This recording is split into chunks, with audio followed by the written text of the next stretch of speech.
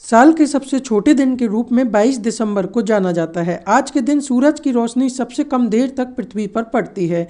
ज्योतिषियों के अनुसार और धार्मिक मान्यताओं के अनुसार यह दिन बहुत ही शुभ और मंगलमय होता है। साल के सबसे छोटे दिन की शुरुआत करौली के लोगों ने मंदिरों में प्रभु के दर्शनों के साथ की है।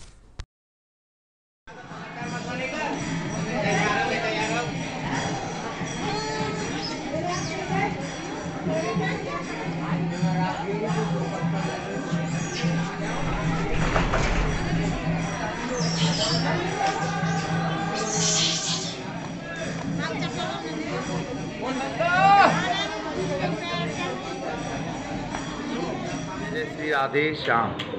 आप सभी प्रियजनों को बहुत बहुत राधे राधे।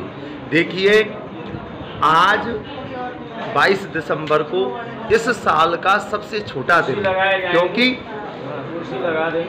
शीतकालीन संक्रांति के अवसर पर उत्तरी गोलार्ध में सबसे छोटा दिन इस दिन को माना गया है।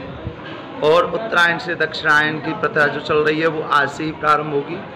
और आज सबसे छोटा दिन माना गया है और ज्योतिष के अनुसार भी आज सबसे छोटा दिन है। इसके बाद में धीरे धीरे दिन की अवधि बढ़ती जाएगी। आज जो है, वो सूर्योदय से लेकर के सूर्य अस्त तक की जो प्रतिदिन की बेला चल रही थी, उसमें आज थोड़ी सी कमी आने के कारण दिन छोटा होगा, रात्रि थोड़ी सी बड़ी होगी। और आज से इस दिन की शुरुआत होती है, बहुत मंगलमय दिन होता है। इस दिन भजन, पाठ, पूजा, यजन, दान, पुण्य का बहुत ही महत्व शास्त्रों में